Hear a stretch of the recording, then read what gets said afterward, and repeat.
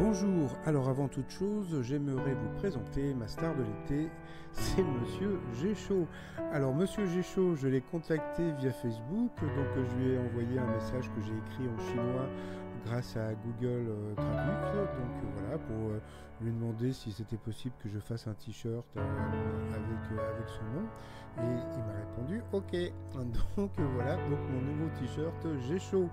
Alors sinon, alors quoi de neuf aujourd'hui dans les, dans les 12 coups midi? Eh bien, comme c'était l'ouverture des fêtes de Bayonne, alors ben, Jean-Luc Reichmann avait convié un orchestre, donc voilà, donc euh, Paul a dit que ça ne gênait pas trop, qu'il n'aimait pas, mais par contre il n'aime pas les, les, sons stridents, donc euh, je pense qu'il y en avait beaucoup, donc il a été un petit peu saoulé, je le suppose.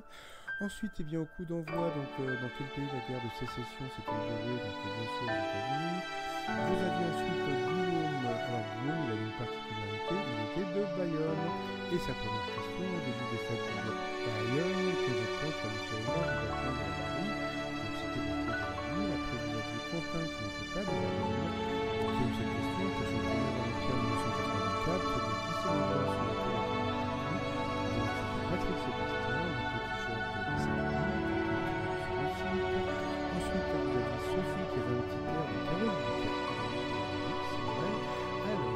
quelle personne sous son toit a inspiré le créateur Woman sur le rhum C'était sa femme et sa maîtresse qui vivaient sous le même toit.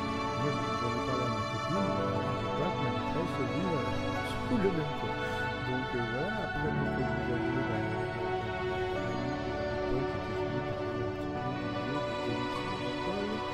Autrefois, le était également appelé